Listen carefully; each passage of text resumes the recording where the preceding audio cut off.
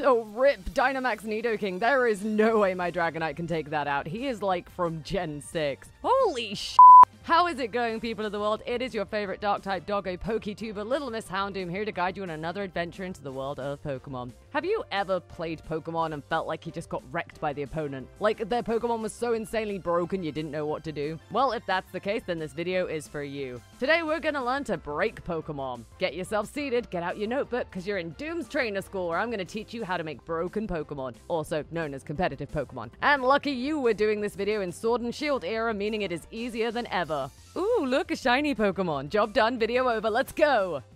I, I'm, I'm just joking. It's not that easy. A shiny Pokemon is not a competitively better Pokemon. It just looks different. Shiny does not affect stats. Not even flex stats, because honestly, at this point, I'm amazed if it's not shiny Pokemon I'm fighting. Okay, guys, now look at these Lucario. One of these Mons is not like the other. One of these Mons was competitively bred or trained with items. Competitive Pokemon are easier than ever to make, so lucky us, we can make monstrosity Pokemon with minimal effort. Looking at you, Eviolite Chansey. Alrighty, lesson one, understanding the stats. First, we need to understand stats. Every Pokemon has six stats that we can see, and it has factors that affect these stats, such as IVs, EVs, and nature. IVs are individual values which range between 1 to 31, and the higher the number, the more points go into that stat. Every stat has an IV associated to it. These are often bred down from parents or can be bottle capped into Pokemon, so don't worry if the mon you want to make broken is missing IVs. Thanks to the power of science and uh, bottle caps, apparently we can fix any IV. EVs, known as effort values, range between 1 to 252 per stat for a total of 510 across all six stats. These are gained from battling wild Pokemon or from items. For every 4 EVs invested into a stat, you'll get 1 extra point in said stat, for a total of 63 on a maxed out stat. Nature is your Pokemon's personality, and like any good trainer, we're gonna bully it into having the right nature that suits us best. Yay! A nature is gonna increase one stat while decreasing another, and there are 16 in total, with some neutral natures that will do nothing. In competitive Pokemon, you'll often see things like Jolly, Adamant, Modest, Timid as common natures on Pokemon. If you've ever Wonder Traded, you'll probably have Mons of these natures, because basically we want to trade off reject Pokemon who just weren't good enough for our obnoxiously high standards. I'm pretty sure I created the entire Zigzagoon population of Galar from releasing rejects. Be free, my failures, be free! And that's basically how Pokemon stats work, which means we can move on to lesson two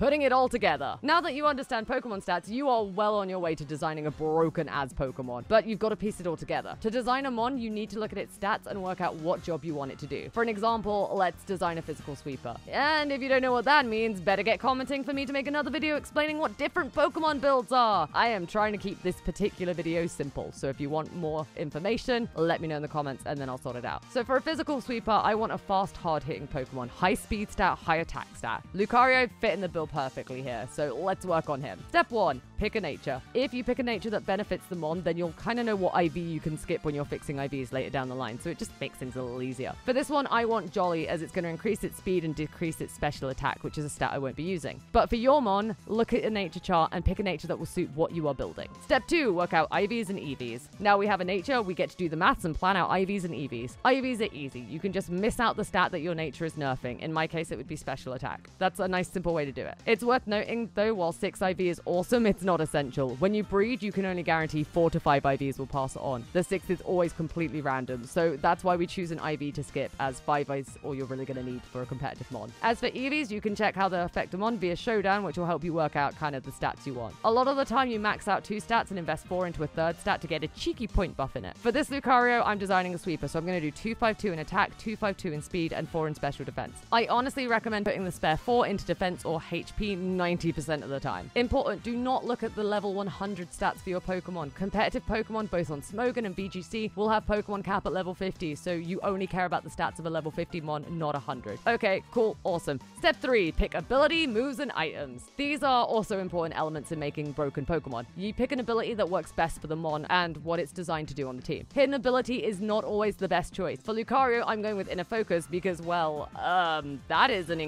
incredibly specific and situational hidden ability. Seriously, why? I, I get that it works with the theme, but ah. I'll take not being able to be flinched or intimidated, thanks, because that's going to happen a lot in competitive Pokemon. As for items, there are a lot, so look at what items there are and incorporate them into a strategy, because seriously, we could do a whole video explaining the best and worst Pokemon items for competitive Pokemon. For Lucario, as it's a sweeper, it tends to be quite fragile, so I'll go with a Focus Sash to guarantee that it's going to survive a hit and be able to dish out more, and then next turn it's got priority, so it should be able to confirm a kill. Kill. As for moves, my best advice is type coverage and using the right type of move. Pokemon have a physical and special attack stat, and each Pokemon will be one or the other, so don't stick physical attacks on a special attacking mon. Also, if you can get a priority move, those are great, as they'll likely hit first regardless of speed. So things like Extreme Speed, Aqua Jet, Accelerock, they're all great. Make sure your moves help cover weaknesses too if you can, like Lucario no like fire, fire no like ground, physical attacking Lucario, Earthquake. Also, also, check the accuracy of a move. High power moves have low accuracy, and sometimes it's better to go with a move that has higher accuracy and less power,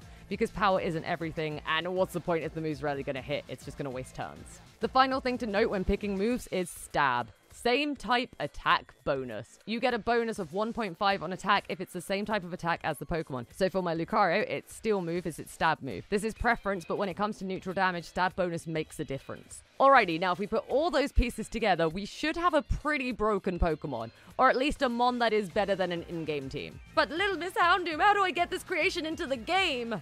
It's easy. You go to Oak's Lab and ask nicely. I'm just joking, Oaks Lab sucks and it makes me want to cry. It is not that hard to get the Pokemon in game yourself, so please do not stoop to just getting them inserted into the game. IVs can be bred into Pokemon, but we'll tackle that another day if Pokemon breeding is something you're interested in. For now, just pick a Pokemon you want and level it up to 100. You're then going to visit this lovely gentleman at the Battle Tower, who I totally don't have a grudge with because he made me waste hundreds of hours of my life just by existing. Now use a bottle cap on the stats you want to max out because yep, bottle caps max out the stat of an IV. So glad I spent years breeding for these perfect stats. I want my time back. For EVs, you can either beat up a load of Pokemon and use power items and Pokerus, but why do that when you can just buy items like Carbos, Protein, Calcium, etc., and do the stats that way? You can buy them with money, from this trainer for 2 battle points, or in the DLC for 2 Dynite ores. It has never been easier or cheaper to have broken mons. To do this, we'll need 26 of the item to max out a stat, as each uh, protein, carbos, or such will give you 10 points in that stat. Be sure to do the stat that gets 4 last, because you won't be able to max out other stats, because you'll run short by 6 if you do the 4 stat first. So do the max out stats first, then do the 4. After that, either TR or TM the moves on, have them learn from level up, and if that doesn't work, just go to the remove remember guy and tell him to teach your Pokemon a move. Do it! Do it now! And if that doesn't work, well, I guess it's egg moves, and uh, those are basically just viruses now, which we can transfer by putting Pokemon in the daycare. And if you're struggling with abilities, don't worry, you can use ability patches to get hidden ability onto your Pokemon. Yay. Or you can use an ability capsule to switch between normal abilities.